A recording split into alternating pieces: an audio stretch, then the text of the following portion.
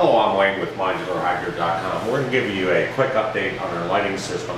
This transplant, you can watch our videos online. This transplant was done exactly seven days ago, but we already have our CFL lighting system set up. And if you notice, these two at the top, they're not on. We only have the bottom two, and then we have two bulbs in here. Let's recap on exactly what bulbs we're using and why we're using them. We have one 6500K 100 watt bulb here. We have uh, one uh, 2700K soft white. We believe the combination of these two in our test results, they just come out, it's just awesome. 100 watt here. On the bottom side, we only have 60 watt 2700K. These will always remain 2700K. However, up here, there is a transition on these top two.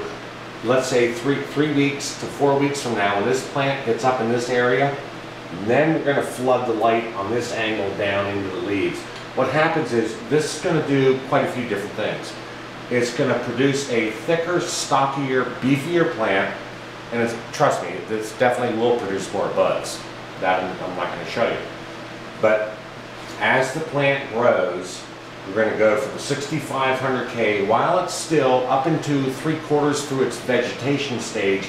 We're going to switch these two bulbs out. When we go to our flowering stage, we want more softer white.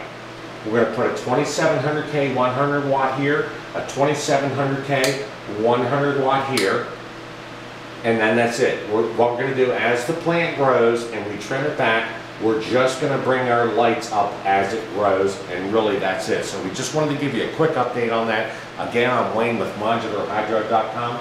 Thank you.